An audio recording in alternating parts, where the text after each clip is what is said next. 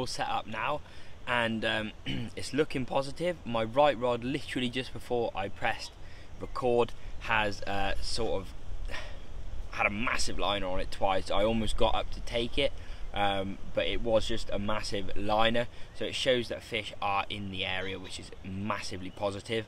Um, see, as I mentioned, well, actually, I don't think I've mentioned. Actually, I put that on my Instagram story. Uh, we're at Froggatt's Pool today. Um, it's near Ludlow in Shropshire. Um, it's actually my local pool, but it's the first time I've been on it because I haven't lived up here for that long. Um, so I've been sort of travelling Cotswolds way, but I'm looking forward to it. Like I said, we've had a liner on the right rod, which is really positive already. The dark, the dark is dimming, the light is dimming now, and um, I'm hoping that we might get a night bite or two. There have been some fish come out recently that have been closer to the 30 pound mark, between 25 and 30 pound. So a good good set of fish in here. Uh, there are cats as well, but I really don't expect them to be awake and moving. Um, it's currently like the 24th of March, and I don't really think they usually come out until late April, early May. So hopefully we won't get one because I'm here for the carp today. Um, but yeah, I'm really, really excited. I'm looking forward to it.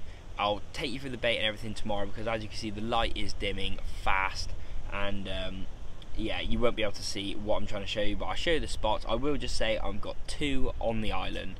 Um, you can only use two rods here, and um, and yeah, I've also got a new bait company that I'm working alongside. Um, I'm part of the pro team, so I'll talk to you more about that tomorrow as well, uh, because that is the bait that I'm trialing today.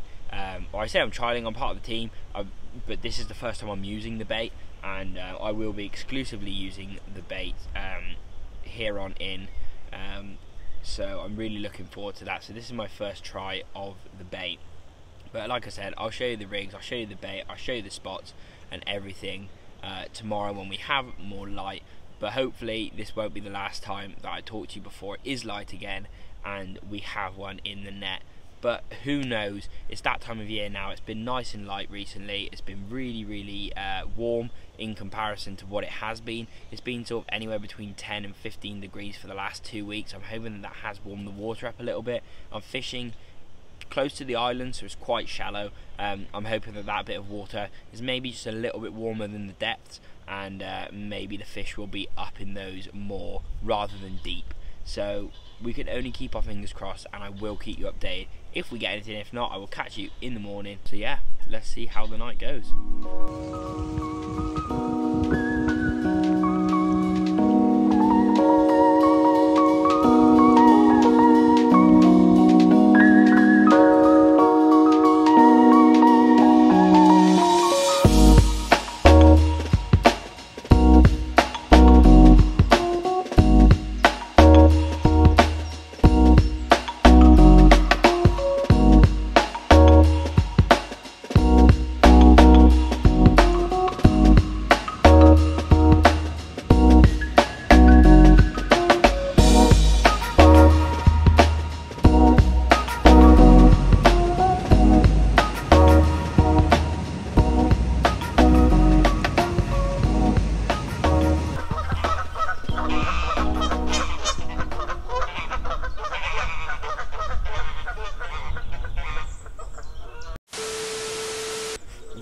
First of all, good morning.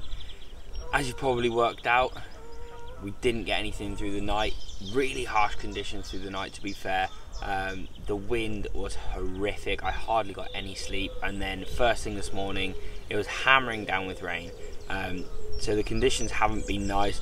I've been sat in the bivvy trying to watch the water. I've not seen anything showing, so I have switched things up a little bit. I'm not sure if you can see me on the camera um, or sorry, see where I'm looking. But behind me is the island that I'm fishing to. Um, I've now only I had two rods on there. Uh, I've now moved the right hand rod to a different island that I have access to, and I'm hoping for something different. I've also baited margin spots that I've not fished yet, and maybe I will fish those uh, throughout the day if we don't happen to get anything past lunchtime or whatever. Uh, I'm here till this evening uh, for a 24 hour session, so hopefully uh, we'll get something then. But fingers crossed we don't blank um, because that would be a shame. But it is my first time on this venue, so I'm still trying to learn the venue Um, I think my biggest flaw with fishing is that I don't stay at one venue. I don't consistently go back to one venue. I like to switch around. I like to move around, and not only that, it makes it interesting for the viewer because you guys wouldn't want to see me at the same venue every single week. So I suppose that makes it a little bit harder for me because I don't understand the venues. I don't give myself time to learn the venues. Uh, and maybe that's something I'll change my angling in the future. But honestly, I just I just love fishing new places. Um, I like the challenge, and even when I don't catch, I know it doesn't make the perfect video when you don't catch. Um, but I feel like I personally learn a lot, and maybe I've shown you a new venue that you want to go and try or something. So I think um, I think it's not all bad. But I will take you through the bait now, as the sun is kind of trying to come out. Um, it, it, was really bright this morning and then it started raining again and now it looks like it's trying to brighten up again. So hopefully we uh, we won't be too far off a nice sunny spell. And I'll show you the bait. I'll show you what rigs I'm using when I bring one of my rods in. And fingers crossed we'll get something um, I am feeling hopeful we did have some liners last night but nothing nothing to uh, nothing to go off really so that's why I've moved the rods around and I'll probably be quite mobile with moving my rods around. I've got two pegs to myself, peg 5 and 6. I'm currently fishing from peg 6, um, but I have spoken to the fishery owner and he has said that I can use peg 5 as well, um, which is really handy and allows me to be a little bit more mobile with where I'm fishing. Uh, there's only four people on the lake, um, as that again is the rules. Um, there's 10 pegs, but only four pegs are ever used um, which I think is really good, and two rods, so it's never over pressurized um, at one time. So it's always busy, but there's never too many lines in the water, which makes it a lot nicer for the angler. So, um, so yeah, I'll show you the bait shortly, and I'm feeling confident. I am feeling confident. So to take you through the bait that I'm using, as I mentioned at the start, I have joined a bait team um, that bait team is Spa Bait. Now, um, they're actually quite local to me, which I didn't know. They approached me and we're working together. I'm part of the pro team and I'm massively excited to pretty much take this season, this year, whatever it might be, as my first year on Spa Baits. Um, the quality of the bait to start with, I, I will only sort of use a bait if I do think it's a good bait. And this bait is incredible. Um, I got really really really good delivery time on it. First of all I'll show you the bait. So this is maple D that I'm using. It's quite similar to what I usually use. I like to use tiger nuts. I like to use sweet stuff. I like to use things like that. So uh, this is maple D um, link will be down in the description to the Spabaits website anyway so you can go and check it out for yourself but incredibly quality bait. Literally so soft. They just no pressure at all and they crumble, which honestly is the greatest thing for me in the winter that I can just crumble a little bit up in my fingers, in my hand, with no effort at all. Because one, when I'm putting it in a bag, in a solid bag, and anything like that, I want it crumbed up, I want it squished up with no effort you get some baits and they're like bullets, not these. Um, really, really nice bait. Really, really, really, really kick up a stink as well, which is great for me. Um, and uh, yeah, obviously, it makes it nice and digestible for the carp uh, as well, or whatever you might be fishing for, whether it's carp, bream, um, catfish, anything like that. It makes it really digestible for them, um, which is obviously great for the winter, the winter months.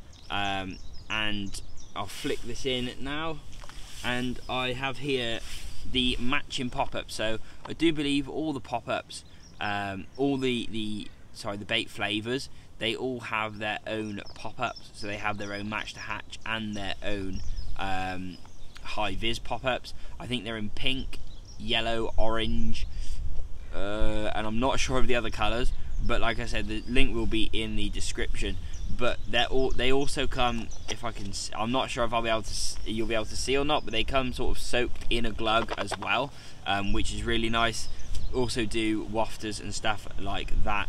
So basically my mix for today is the boilies uh, that are Maple D. I have some mixed pellets, um, which are like some are like four or five mil, some are two mil, some are one mil. They're just tiny little pellets, a big mixed bag, um, and I've got those. I've got some maggots, and I've got some Maple D boilies, 14 mil, all into the mix, um, as well as some worms. As you know, I always love some worms, and um, that is what I'm feeding with today. I'm spomming over the one rod and just using a solid bag with some uh, some pellets in the other rod, and I have a high vis Maple D 14 mil pop up on both rods on Ronnie rigs. Uh, as you know, I love a Ronnie rig, and it's probably my favourite rig. The standard hair rig and a Ronnie rig are my two favourite rigs, so I have both of those fishing pop ups, and uh, hopefully it's going to get us a bite for the rest of the day.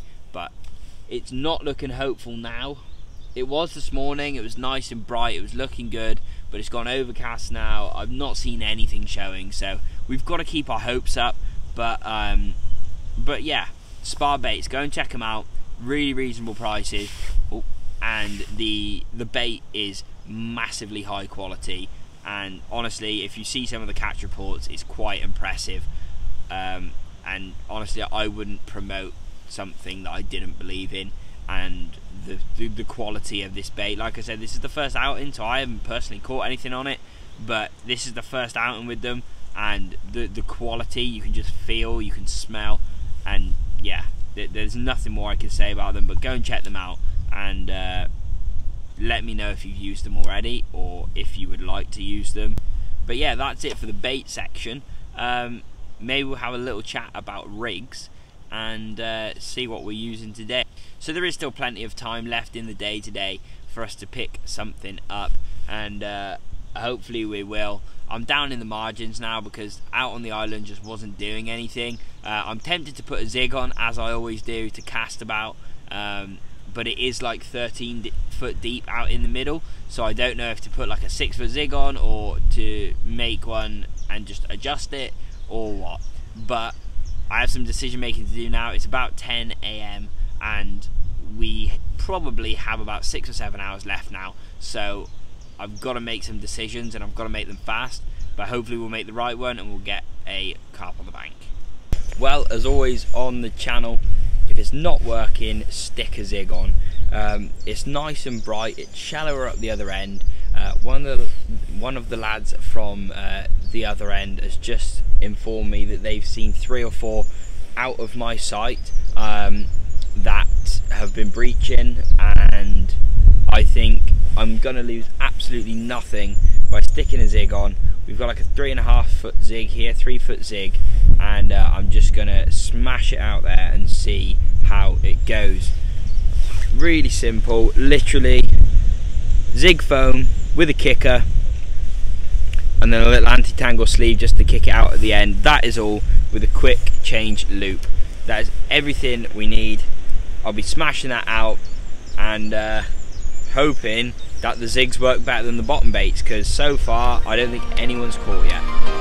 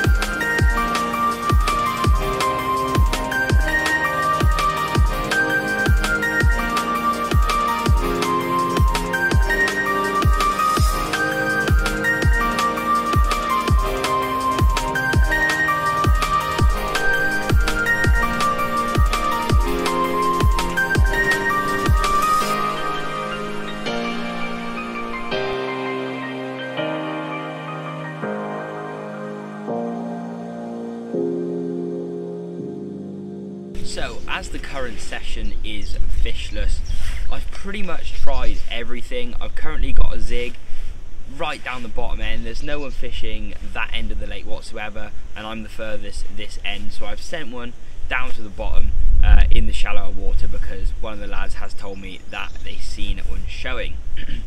I've also still got one on the island that I've spommed over just in case there's something still down this end um, and fingers crossed for the last three hours but I'm very intrigued what would you do? What is your go-to tactic if you can't see them showing?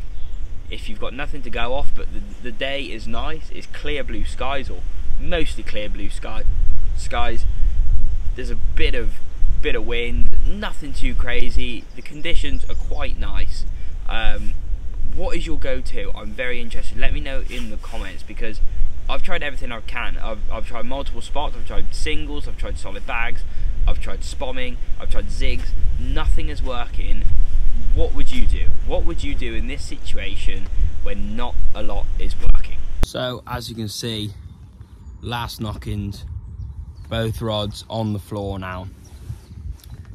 Oh, it's been eventful. It's actually been quite stressful because my last few sessions, I mean, I did catch last session, but the session before um, at Hawkot, the, the conditions weren't great. It was down to one in the in the night and, uh, you know, maximum of six or seven in the day. But it's it's literally like 13 degrees right now. I think see I've probably burnt my face a little bit to be honest. Um, and in the day, uh, it's been like 13 at night. It was like seven or eight last night. So there's literally no reason why they shouldn't be biting, but they're not unfortunately. So unless I update you with a fish literally in the next 10 minutes, unfortunately it's another blank for the channel. But it has been a successful two days, day and a half, whatever, day, 24 hours, because we managed to get two videos done, so that is a positive. But unfortunately, no fish on the bank.